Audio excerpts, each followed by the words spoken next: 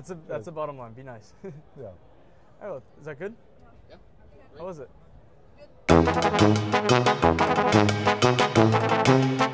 Uh, so what is your name and what do you do? My name's Tom. Uh, I am a, I mean, I guess I'm a data technology guy. Uh, that's what I spent all of my career doing. Uh, and kind of most recently, I've been working with kind of, you know, how do you understand consumers uh, through big data and through consumer research. And what do you do? What is it? What do you mean uh, through data research? The uh, so I mean, I spend I spend most of my days actually, you know, writing computer programs and uh, playing around with uh, data sets and artificial intelligence, trying to work out how we can do things better. And I heard you had an invention at Oxford. Tell us about that. The, uh, so my background was I, I first got a computer when I was like 10 years old, uh, and then my parents sent me off to boarding school uh, to try and stop me using computers, and I did a degree, degree, did a degree in physics at Oxford, where uh, there was one uh, one computing thing we did. But the supervisor didn't really understand what I was doing. And then I got a job programming computers. So kind of I had 11 years of my life totally wasted. Yeah. Uh, So you know my advice would be you know don't bother with education. Just learn what you can learn yourself. Uh, the and when one of the things I did is I ended up making uh, software to process um, X-ray detector emissions on electron microscopes, uh, which sounds a bit like bizarre. But have you ever seen a movie where someone shoots a gun, yeah, and then they compare the gunshot residue on the hand to Yeah. the gunshot residue on uh, the body? Yeah. So Yeah, that yeah. was uh, one of the first things that uh, I made. Yeah. Really? Uh, Wow. And so basically, it used to be a really, really complicated process, and uh, I worked out how to simplify it. Yeah. And so, and now I think you know most most cities there's probably an electron microscope somewhere uh, that's used by the police department to do that kind of gunshot residue testing. So how'd you how'd you make that work? Uh, well, so we already had some smart people who knew how to do the matching. Yeah. So basically, it was about you know there's the chemical signature of the gunshot residue that you get from the, the body, and the chemical signature of the gunshot residue you get from that. Uh, and you know, matching that is relatively simple, but it was a really complicated process. Yeah. Uh, because people didn't have big databases of different gunshot residue, and you know, it wasn't automated. Yeah. Yeah. And so what we did is we took that, we kind of productized it. Yeah. And Yeah. turned it into a simple solution where you went in there, you know.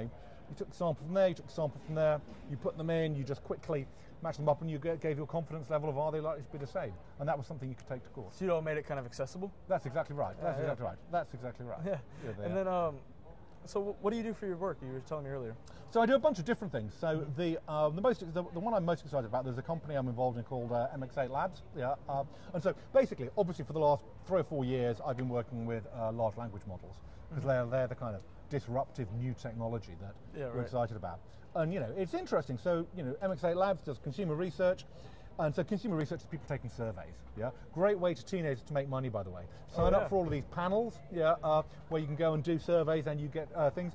There are virtually no teenagers on them. People will pay a lot of money to get access to teenagers. Really? Uh, yeah, they will. That's Yeah, they good- will. that's good to know. Yeah, yeah. Because the point is, everyone knows what my generation thinks about things. Nobody knows what your generation thinks about things. Sure, So yeah. actually, it's a bit the wrong way around. I should be asking you the questions, yeah, because everyone knows uh, what I already think. Um, and so, large language models they work really well. Yeah. Yeah. Uh, but what we're trying to do is work out how you can really apply them.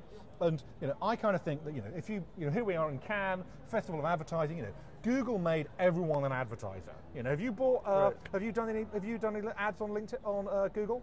I don't know if I have, but Yeah, but you could do. But you could do. Yeah, you should yeah. do. You should do. Everyone should run at least one campaign on Google. And uh, what MX8 Labs is doing with AI is that can make everyone a researcher. Yeah. Hmm. Uh, so you know, it's a it's an order of magnitude faster, cheaper, easier. Yeah. And so, you know, from a business perspective, what I'm interested in is you know how can we help challenger brands like, for example, you know, Allbirds. You know, get the same level of consumer insights as somebody like uh, Nike has got. Yeah, Sure. they can't afford to spend the same, but with AI they can get the same level of see. insights the same way around. So that's Yeah. that's kind of what I'm really excited about. You know, the technology for these models is now ready. Mm-hmm. Yeah. But how can we how can we apply them? How can we productize it? How can we do what I did with the gunshot residue systems Yeah. uh, in you know large language models in some of these areas? So you mean by researchers, you can kind of any brand could see the same things as sort of the big brands? Yeah, exactly. Sort of dumb down. Exactly. Exactly. Well, I mean, without even dumbing down. Or not, yeah, You know, so I mean, the kind of the kind of stuff that the kind of stuff that brands do is, you know, they're really interested in what people think about them, what people, uh, you know, every brand does a brand tracking study. Yeah. uh, where they'll talk to thousands of people on a regular basis. Have you heard of my brand? Uh, what do you think of my brand compared to other brands? When would you buy it? Blah blah blah blah blah. Do you think it's good for the environment? Why do you like it? Why do you dislike Yeah. it? Yeah. Uh, It gives people uh, reasons. yeah, and so and then that helps inform the marketing strategy. Mm-hmm. Yeah, uh, and obviously, you know, if you're a larger brand, you can spend more, you can get richer insights. Yeah, but actually, with these AI-enabled systems, I think you know the smaller brands can get the same level of insight. And then, um, what's your advice to teenagers who might want to do something uh, in general? what's your mean, advice to teenagers? I mean, I would say uh, my, my advice to teenagers. Uh, I've got three three teenagers and a twelve year old. Yeah. Uh, my general advice would be to. Uh, don't listen to what anyone tells you to do. Yeah, uh, Follow your wor- dreams. work out. No, work out how to do things your own way. Right. Yeah, you know the reality is, uh, you know, when I started uh, work, uh, I didn't have an email address. Yeah, Hmm. uh, and now it's impossible to do business without an email address.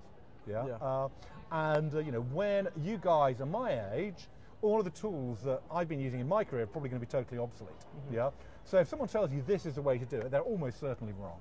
Yeah. Uh, and so you know, really, I would say work out the ways to do it better. Follow your own work out the way that you can, uh, you know, add value. You know, Yeah. Right. Well, and be nice much. to people. Yeah. Be nice to people. Yeah. That's a that's the bottom line. Be nice. Yeah.